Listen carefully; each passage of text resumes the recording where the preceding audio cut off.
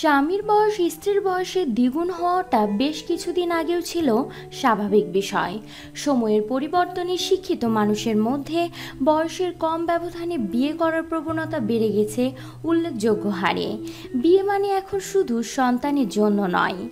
পাত্রীর চেয়ে পাত্রের বয়স কমপক্ষে পাঁচ বছর এবং বেশি হলে দশ বছরের মধ্যে থাকা উচিত। ব্যতিক্রম ঘটনা থাকতেই পারে, কিন্তু সেটা আলোচনার মধ্যে আসতে পারে না। ব্যতিক্রম সবসময় ব্যতিক্রম, তাই কিছু সমবয়সী দম্পতিও হতে পারেন দারুণ সুখী। একই সঙ্গে পড়াশোনা বা চাকরি করতে গিয়ে কাছাকাছি আসা, মনের মিল খুঁজে পাওয়া এবং শেষে ঘর বাঁধা। সমবয়সী স্ত্রীর সঙ্গে বন্ধুর মতো সব কিছু শেয়ার করা যায়।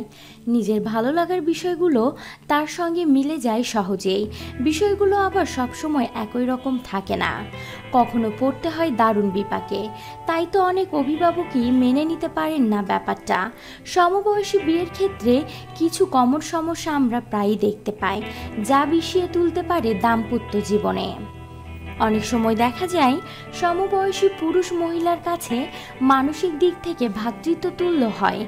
কিন্তু পুরুষটির আচরণে এসে পড়ে কৃতিত্ব।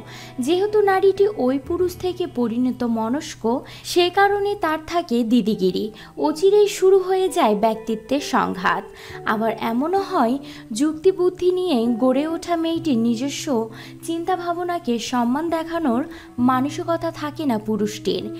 মেয়েদের যেহেতু পারিপার্শ্বিকতা বোঝার ক্ষমতা একটু বেশি।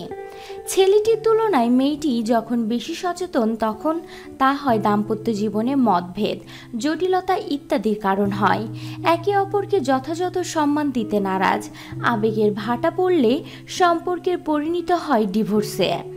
তবে এই সংঘাতের মধ্য দিয়ে কেউ টিকে গেলে আসে আরেক ঝামেলা। দুজনেরই বয়স যখন চল্লিশ থেকে পঁয়তাল্লিশের মধ্যে, নারীদের জীবনে এটি একটি টার্নিং পয়েন্ট। নানা স্বাভাবিক সংকট তৈরি হয় এই সময়।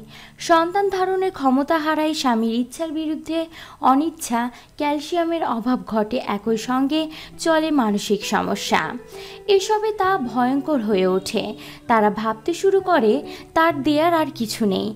মনে চলে আসে বিষণ্নতা প্রাকৃতিক কারণে আগে পরিণত হওয়ার নারীকে আগে বার্ধক্য গ্রাস করে ফেলে।